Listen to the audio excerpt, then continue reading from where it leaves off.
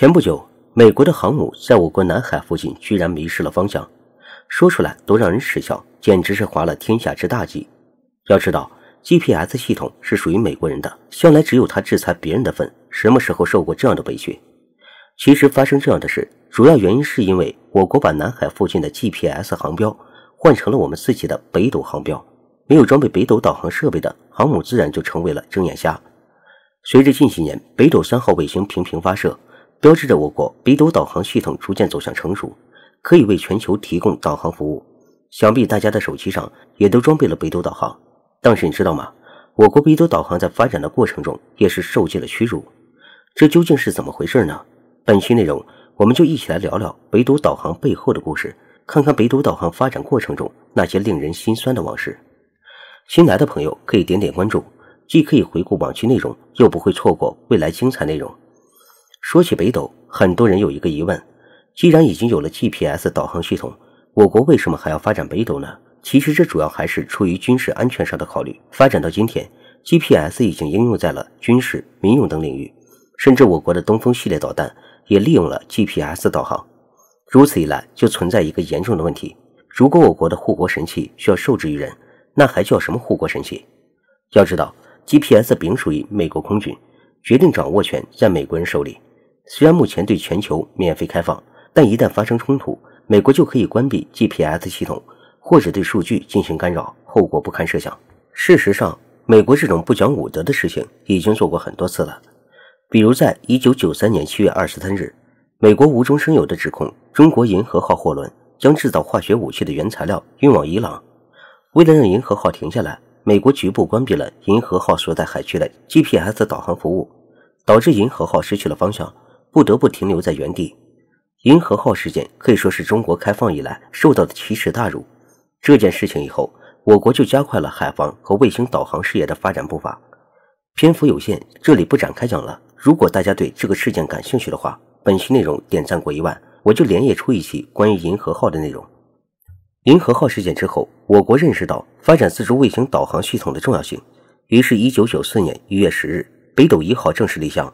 经过一系列的理论验证和建造，最终在两千年成功将北斗一号的两颗卫星发射入轨，完成了我国北斗一号卫星导航系统的建设。虽然精度只有两百米，但这标志着我国成为继美俄之后第三个拥有自主卫星导航系统的国家。这还远远不够，为了提高精度和覆盖更广泛的地区，就必须发射更多的卫星。但太空资源讲究先到先得的原则，美国和俄罗斯的人造卫星因为起步早。占据了太空四分之三的优质频段。按照国际电联的规定，要使用太空频段，必须要提交申请，并在七年之内发射成功，否则就需要重新申请。一旦我们申请失效，极有可能被其他国家截胡。所以，北斗二号卫星必须在二零零七年发射成功。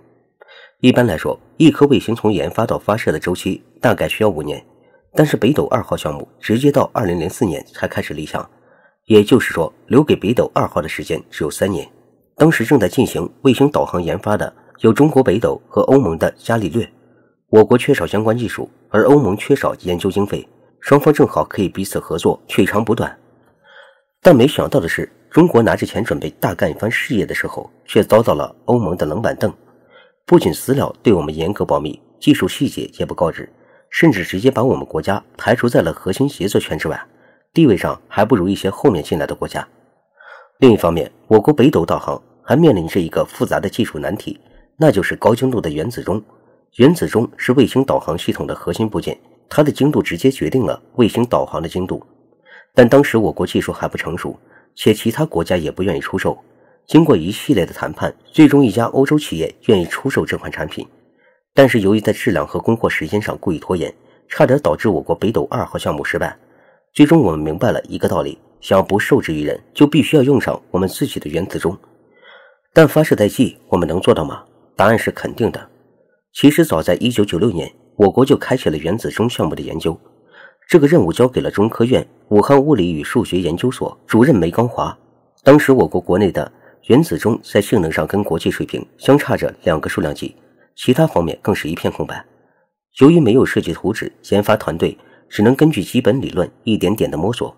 这一搞就是十年，十年时间，黑发人熬成了白发人。终于在2006年，梅冈华团队成功打破了国外技术垄断，研制出了第一代原子钟，帮助北斗成功拿下了珍贵的频段资源。正是科学家十年如一日的研究，才让我国在最危险的时刻能够转危为安。但他们的名字却鲜少被我们提起，请大家把感谢打在公屏上。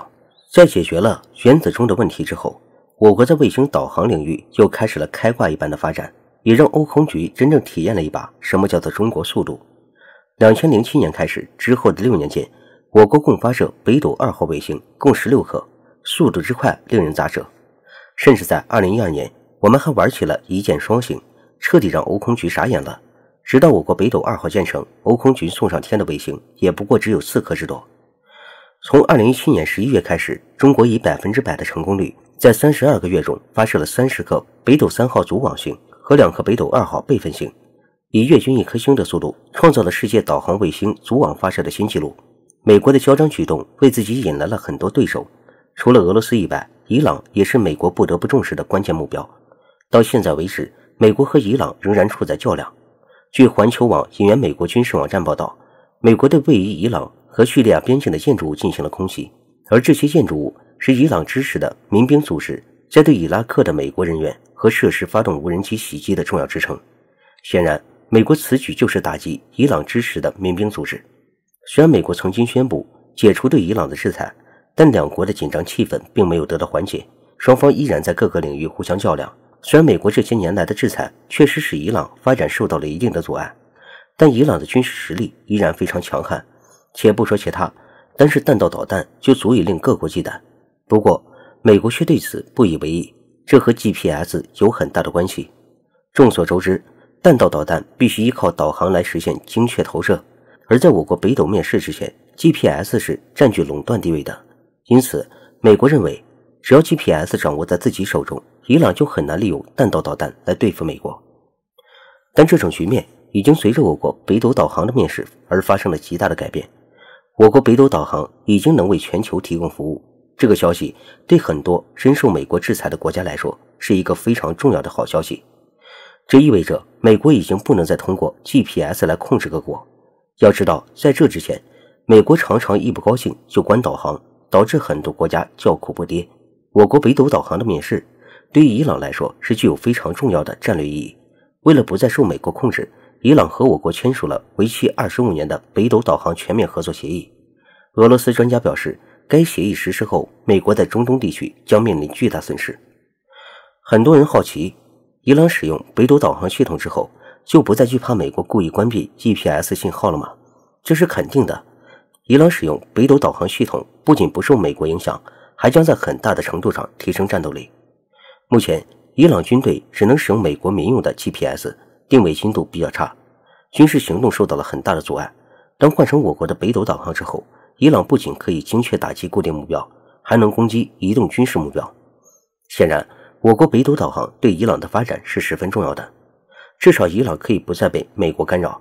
这样一来，美国面临的威胁就非常大了。一旦伊朗发起攻击，那美国就危险了。由于我国北斗系统的强大性能。目前，全球超过一半的国家都在使用北斗系统，服务范围覆盖两百多个国家，抢夺了相当大的 GPS 市场。那么，面对北斗如此强劲的势头，美国为什么不加以制止呢？